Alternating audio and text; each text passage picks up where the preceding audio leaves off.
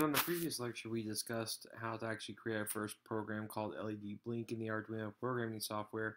Now we need to be able to actually wire uh, the LED up so it will actually blink. Currently, we just have a program that tells the Arduino how to send the signals, but we don't necessarily know how to wire this up. And so there's this really great software called Fritzing, uh, and you can download it by going to the fritzing.org website and go to the download option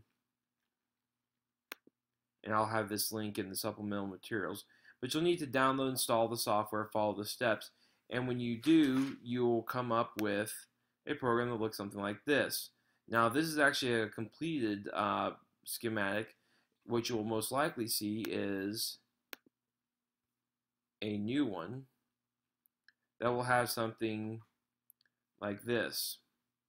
So it will have a little diagram here that explains what breadboard view is. I'll have a breadboard. Um, we will not be using a breadboard for this first one. We will be using in future um, things. So let's talk about how you actually interact with the Fritzing um, site. So what you're going to do is we're going to go ahead and click on this breadboard and hit the delete key, and that's going to get rid of it. And what we want to do is we want to go over here, and you'll see that you have a parts pane. The parts allow you to add a number of different things here. Uh, for example, we have a 220 ohm resistor. I know that's a 220 ohm resistor because when I mouse over it or I click on it, it tells me what it is. You'll see that down below. It says 220 ohm resistor, gives me the signals, tolerance, and so on. And these are actual real parts. You can order them uh, from Fritzing, or you could go and find them in any Radio Shack, those kind of things. So it's not like these are make-believe parts that we'll never use. This is actually setting us up to diagram what we're going to be creating. So in this case, we're wanting to create a blinking LED. Well, we will definitely need a 220 ohm resistor, so we just click on it and drag it onto the screen. Now, it's really, really small. I'm going to show you how to get uh, a little bit better view of that here in a, in a minute. And then we also need to go to our Arduino area, and you'll see that has all the different Arduinos. It may take a second the first time, uh, it'll say loading packages, but we want the Arduino Uno uh, revision 3, and you'll see that that's the first, the top left corner one that we're going to be looking at. And I'm going to drag and drop that onto the screen. You'll notice it's obviously a lot bigger than resistor, and we're going to uh, figure out how to zoom in and add some other parts here in just a second, but we need one more thing. So what I'm going to do is I'm going to go up and I'm going to click on the search, and in there I'm going to type in LED red. And I hit enter and I get all these different things and I'm just going to find a red LED. Now you'll see that this is a red LED 5 millimeter. That's what we want. And I'm going to drag it onto the screen. Now I've got all my components in place, I need to actually finish my diagram. What I want to do is I want to zoom in a little bit so it's actually a little bit easier to see. And if you'll remember from our program, we actually had things connected to pin 13. And you'll see that I have pin 13 right here on my Arduino.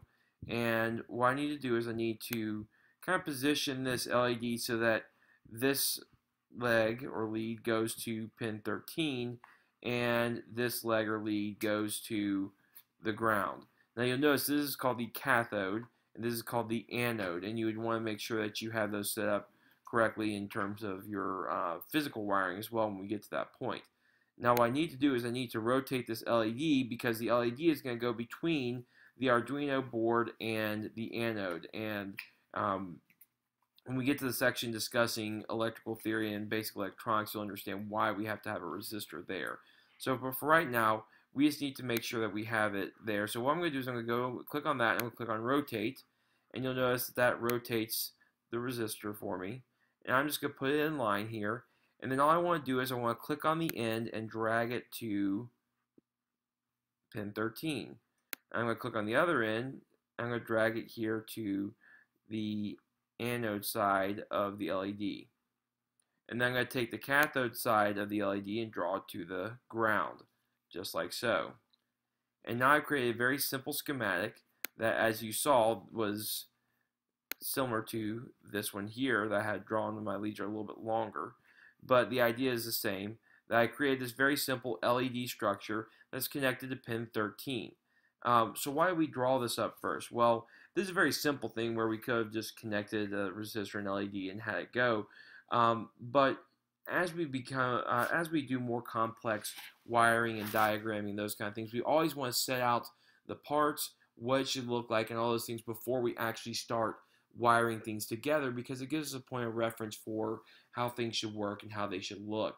It also allows us to share that with other people so that when they see whatever it is that we're programming, they also have a visual reference for how to uh, go about creating that particular uh, physical component that will go with the program that we had. So all I'm going to do is I'm going to go back to our previous one, and I've kind of minimized it, so I'm going to have to go through all these windows and find it here, somewhere in here.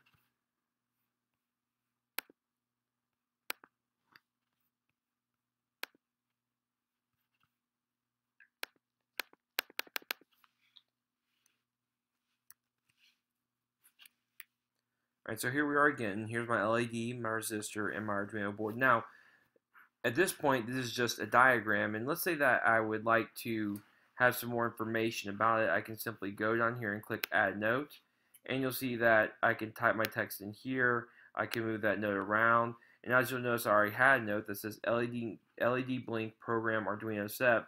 So I'm telling whoever's looking at this diagram, if they are looking at the LED Blink program, then this is how it should be wired or set up. Uh, so if I want to use that note, I can, and I would like for you to go ahead and add that.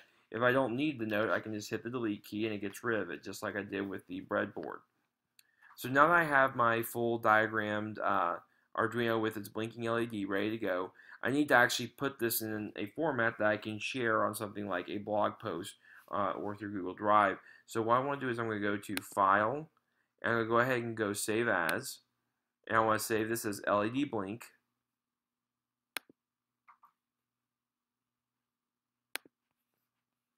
And then we go File, Export, as Image, and then I typically just choose uh, JPEG. You can do PDF or something like that if you want to. But JPEG is pretty straightforward. And it'll ask you what you want to name it, and it'll ask you where you want to save it. And then once you've done that, you can actually go to your documents and you should see your nifty little diagram. That's much easier to read and much easier to see now that it doesn't have the large space that's available. And this will allow us to once again get a better visual concept to demonstrate what we're getting ready to actually do, which is we're going to wire this thing up and then make it blink. So what you need to do is you need to make sure that you've recreated that diagram as you saw uh, me do to familiarize yourself with fritzing and then you are going to take this uh, image and you're going to post it to your blog and just give the blog title post LED blink fritzing diagram and uh, once you've done that you'll be good for this particular lecture.